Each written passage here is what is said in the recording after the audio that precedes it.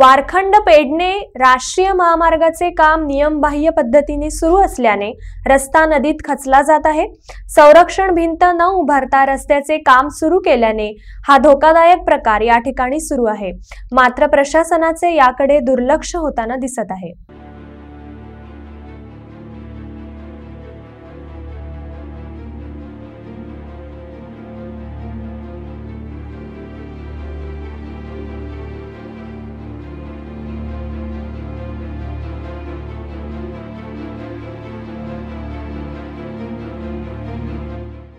सध्या मी राष्ट्रीय महामार्ग सहासष्ट या वारखंड जंक्शन राष्ट्रीय महामार्गावर आहोत.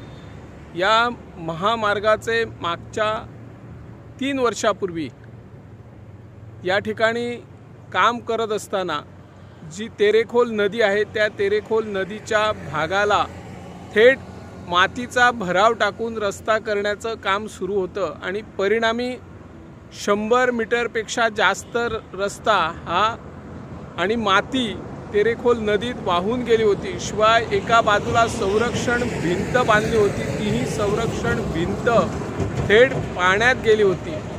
तरीही सार्वजनिक बांधकाम खात्याच्या जो राष्ट्रीय महामार्ग बांधकाम करण्याचं काम सध्या युद्ध पातळीवर ज्या ठिकाणी आपला रेल्वे पूल आहे त्या पुलाच्या बाजूला अशाच प्रकारे पुन्हा एकदा संरक्षण भिंत न बांधता मातीचा भराव टाकून रस्त्याचं काम सुरू केल्याचं आपल्याला नजरेस पडत आहे.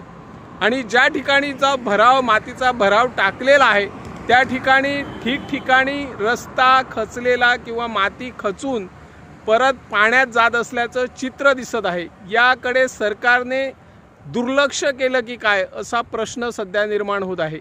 ज्या पद्धतीने मागच्या तीन चार वर्षापूर्वी याच रस्त्याच्या बाजूला शंभरपेक्षा जास्त मीटरचा रस्ता पाण्यात गेला होता त्यावेळी निदान तरी सरकारच्या अधिकाऱ्यांना जाग यायला हवी होती आणि उपाययोजना म्हणून अगोदर रस्ता करण्याच्या बाजूला जी आपली तेरेखोल नदी आहे त्या तेरेखोल नदीला संरक्षण भिंत बांधून नंतर मातीचा भराव टाकण्यास टाकला असता तर काहीतरी त्यावर संरक्षण मिळालं असतं. परंतु तसं न होता आज या ठिकाणी आपण जो रेल्वे पूल आहे त्याच्या बाजूला जी माती टाकलेली आहे नदीच्या पात्रामध्ये थेट आणि तो माती कशी खचून गेलेला आहे हेही चित्र आपल्याला दिसत आहे. याकडे सरकारने लक्ष द्यावं आणि भविष्यात पूर्ण रस्ता हा तेरेखोल नदी गिळकृत करणार नाही यावरही सरकारने लक्ष देऊन त्वरित उपाययोजना करावी अशी या माध्यमातून आम्ही मागणी करत आहोत. मी निवृत्ती शिरोडकर इन गोवा चोवीस ताससाठी.